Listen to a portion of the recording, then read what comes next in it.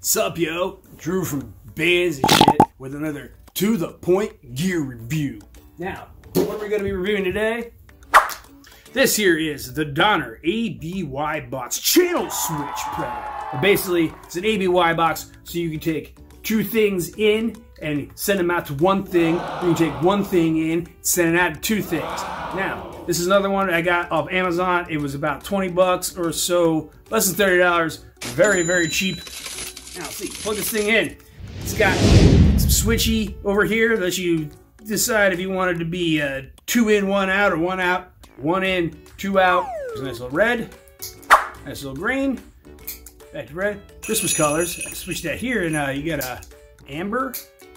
Uh, All right. Well, what's the verdict? This thing is fucking hot garbage. It's a tone sucking disaster of a pedal.